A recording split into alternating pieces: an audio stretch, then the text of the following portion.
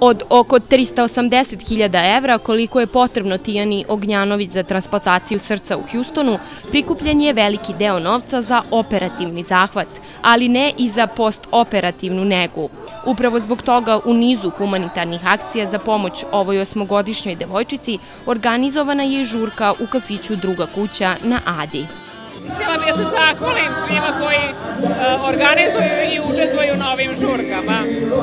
biće u narednom periodu još žurki. E, recite mi koliko je novca uopšte do sada sakupljeno, koliko je potrebno za dalji oporavak? Do sada smo skupili 200.000 evra, koliko su nam bili potrebni za samu transplantaciju i postoperativno lečenje za Beč. Međutim, situacija se promenila.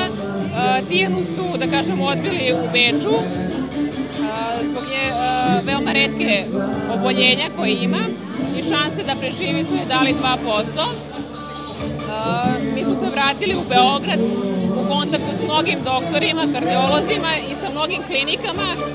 Dobili odgovor da bolnica u Houstonu daje najviše šanse za preživljavanje da Tijana preživi u stvari, samo što nam je tamo potrebno 500.000 dolara.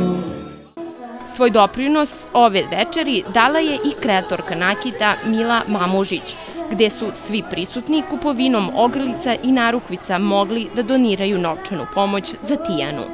Prvi put znači, učestvujemo u ovoj akciji, ali svakako će se nastavljati. Mi ćemo biti e, u kontaktu sa ljudima koji, kažem, organizuju stvari sve ove akcije i svakako da ćemo se odazvati svaki put kada se bude organizovalo ovako nešto slično, da se prodaje nakit i E, naglasila bi zaista da sav novac od prodaje nakita bi išao u humanitarne svrhe.